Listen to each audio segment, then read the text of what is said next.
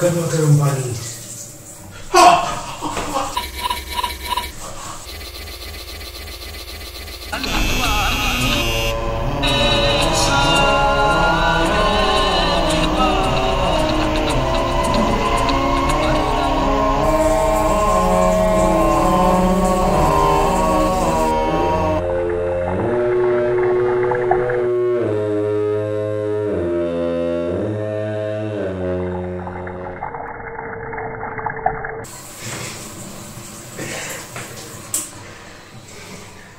नहीं नहीं, ऐसा कुछ नहीं है।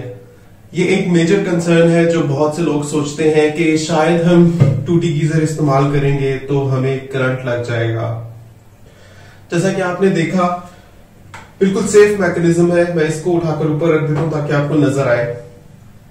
यहाँ पर मैंने इस तरह से इसको लगाया हुआ है कि इसका कनेक्शन नीचे है इस सिंक के साथ। और ये वर्टिकल सिलेंड्रिकली ऊपर आया हुआ है। और यहाँ से इसकी नेक है। इस वीडियो को शुरू से लेकर आखिर तक गौर से देखिएगा, क्योंकि इसमें आपको मैं बताऊँगा कि मैंने इसका इलेक्ट्रिकल कनेक्शन किस तरह से किया हुआ है। साथ ही साथ आप गौर कीजिए कि किस कदर मज़ेदार गर्मा गर्म पानी आ रहा है।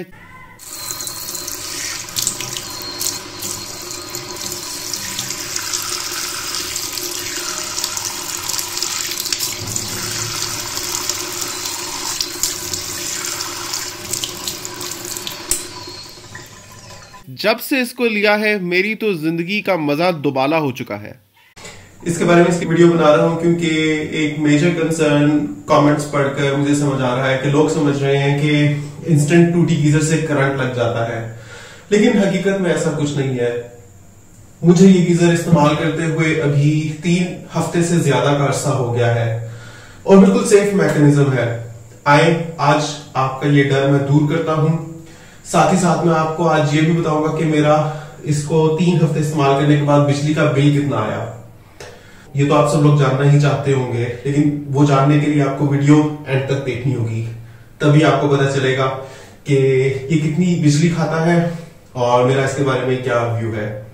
लेकिन उससे पहले जल्दी से इस वीडियो को लाइक कर दीजिए और नीचे कमेंट में माशाल्लाह लिख दीजिए और ये भी लिखिएगा कि आपने वीडियो दुनिया के किस कोने से देखी है। अभी सबसे पहले आप गौर करें कि मैंने इसकी तार किसके साथ लगाई हुई है, क्योंकि एक मेजर क्वेश्चन ये भी मैं सुनता हूँ कि बिलाल भाई, इसकी तार को हम नॉर्मल सॉकेट में लगा सकते हैं या इसके लिए हमें special three pin shoe arrange करना पड़ेगा, क्योंकि जैसा कि आप ऊपर वार्निंग के नीचे डिस्प्ले में देख सकते हैं, लिखा हुआ है कि ये थ्री थाउज़ेंड लेता है।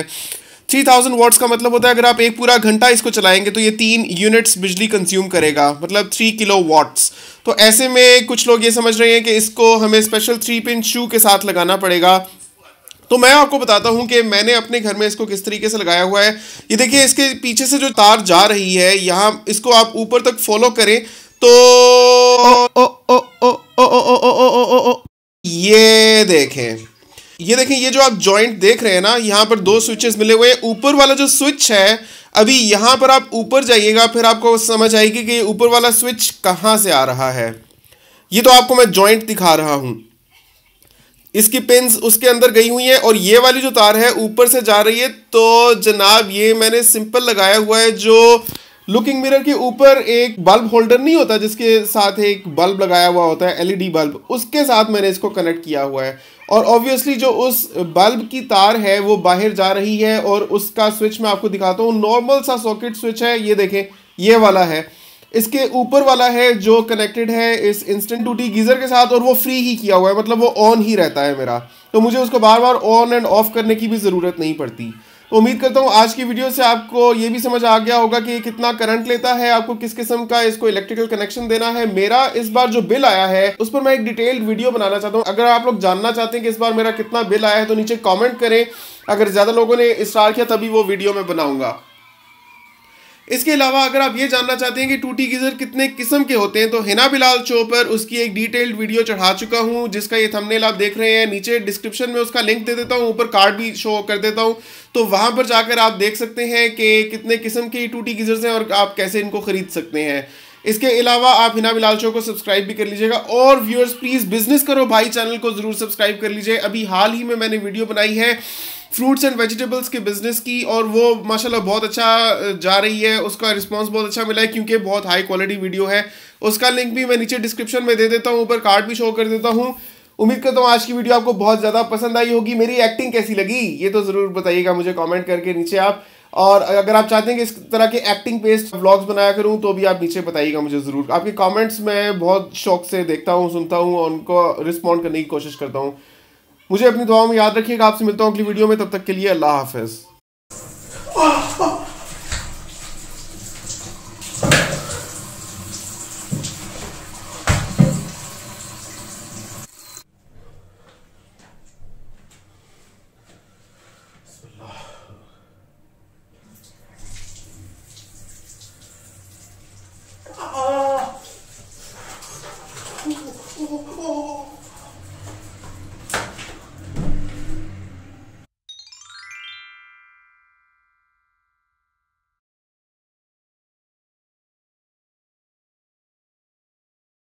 घर बना रहे हैं तो नए और म्यारी कंस्ट्रक्शन मटेरियल्स के बारे में जानना तो लाजमी है। साथ ही साथ सिविल इंजीनियर से कंस्ट्रक्शन टिप्स लेना भी ज़रूरी है, इसीलिए बिलाल ज़फ़र शो को सब्सक्राइब कीजिए।